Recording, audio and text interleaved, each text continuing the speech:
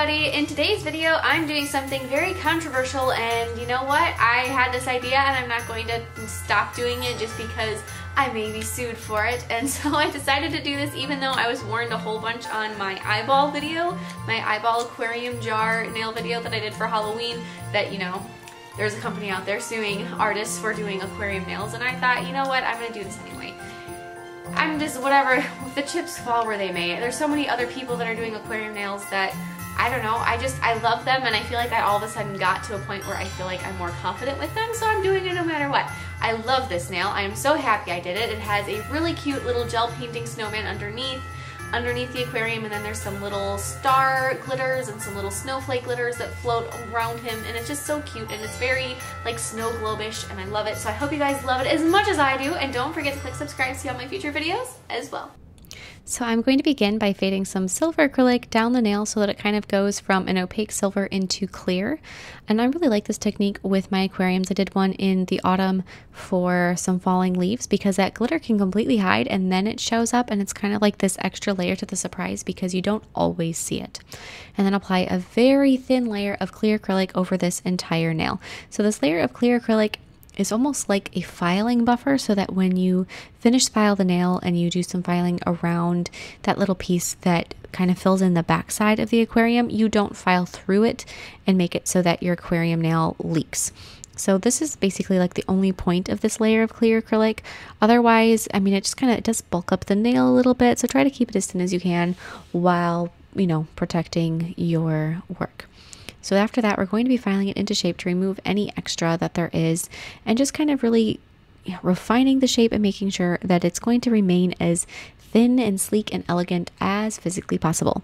And now after that, we're going to be applying a layer of some jewelry gel right along the cuticle area because I want this thing to be glamorous and then apply some um, gel sealer or gel top coat over the entire nail and then press a series of rhinestones into it. So the first one I have is like this little teardrop shape and then I have a different like long skinny one and then some little blue ones. I'm just going to do a little variety of rhinestones that I have loved that have been in my collection for a while, especially those blue ones. I don't use them very often because they don't seem to go with whatever I'm doing, but they're just so pretty and so icy looking. So I was very excited to get to use those. So I'm going to press those into place like that and just kind of fill in however much of the space I want to. And now in a silicone mat, I'm going to be painting a section that's about the size of my nail tip. So I have my nail tip sitting next to where I'm working. And I have the color of the Manhattan, and that's two coats of the Manhattan, and then one co coat of the color Tomboy. And I'm just going to, the so the Manhattan isn't cured, and that Tomboy color, I'm just going to kind of brush it in and then use a paintbrush and swirl it together so it kind of looks I don't know, kind of wispy in the background. And then using the color Perfect White, I'm going to do the first layer of my snowman. So I got the snowman head, and then instead of doing three perfect little circles for the body, I just kind of almost did like a peanut shape, I guess you could say, or like an eight without the middle circles in it. And then taking the Perfect White, add a couple little highlights to the snow that the snowman is sitting on do a second coat over the snowman's body if it needs it. It may or may not need it depending on how thick your first coat was, but my lamp is in need of replacement and so everything I do is super thin these days to make sure that it actually fully cures, which is really fun. But I'm also going to take Perfect White and do a couple little snowflakes in the background. And then using the upper east side, I'm going to be doing just some shading on my snowman. And that color says that it's almost kind of blue or purple on the website. Like it's that's how they describe it. And I think it's really just a really nice, almost kind of like a dolphin gray. And I don't think it's very blue at all. So I guess that's more of a personal opinion type of thing, I guess. I don't know.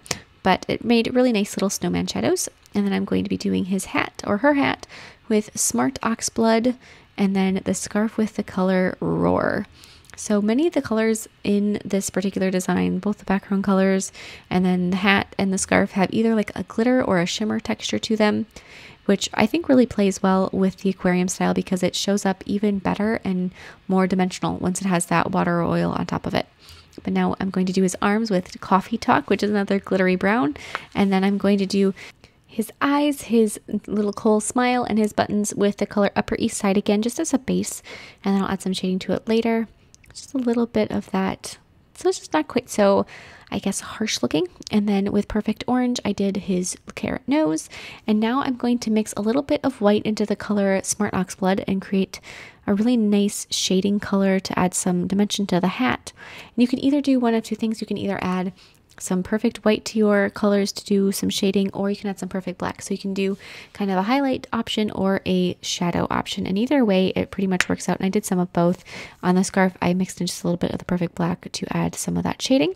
And now with just straight up perfect black, we're going to be doing the outlines. So anywhere that you just feel there needs to be an outline, go ahead and add it. You don't have to overdo it. One of the things I like about snowman art in particular is that a lot of times it can have almost a fuzzy appearance to it because many times when you're looking at a snowman, it's from a distance, and if there's flurry in the airs, it kind of blurs the vision, and a snowman can very easily blend into just like a gray sky. So there doesn't have to be as much precision as there might be for some other designs. But if you want to do black outlines, I am certainly not going to stop you. I love black outlines. So now I'm going to squeeze a line of Ice Blossom, which is Madam Glam's clear polygel, over the entire little painting. And then I'm going to take the little polygel sculpting brush that they have and I'm going to pat it out. And as you can see, the clarity of that ice blossom color is absolutely incredible.